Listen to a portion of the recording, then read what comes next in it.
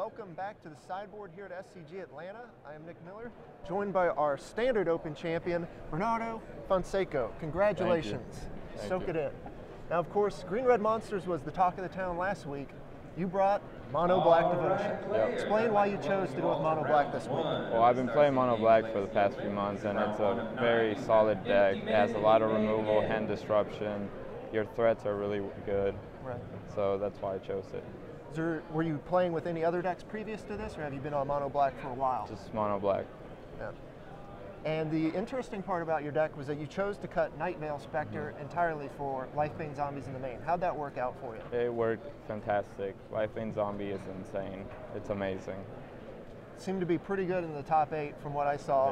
Yeah. And it looks like, you know, you never even would have wanted Nightveil Specters in any of the matchups. No, I didn't. Like with Lifebane, you get to see their hand, and even the information from that is just really good.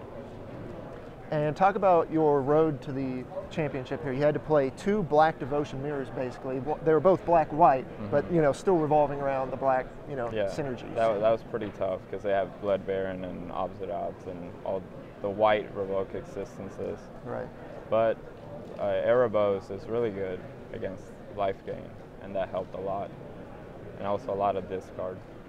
Right, in your finals matchup, and especially game two, Game when you just fired off like triple Thoughtseize, Yeah. double duress, That, that was You know. that helped a lot. you just had him crippled, and then were able to kill him with Lifebane Zombies. Also, Erebos shined qu- quite a bit in the final game, where you got Erebos to very good.